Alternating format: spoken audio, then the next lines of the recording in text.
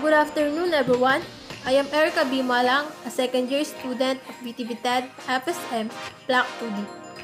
The Bicol University Vision is a world-class university producing leaders and change agents for social transformation and development.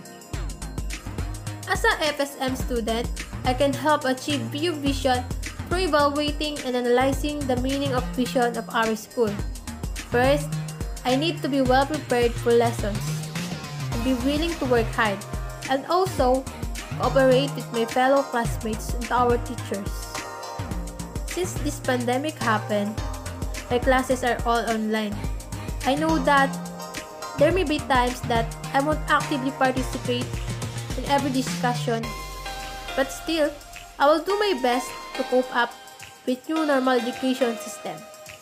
Second, be motivated and be a positive thinker. I need to have a clearer mindset. Being a change agent starts with taking care of our environment. Learning to respect every living thing and uphold that life on this planet matters. Then, we need to be proud for the achievements of our school and try new opportunities.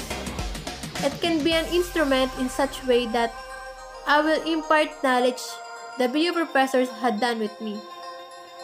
I will always uphold the pillar of our university. Value being one of the scholar, train myself to be a leader and lead rational decisions. Provide service with satisfactions and to not lose my character.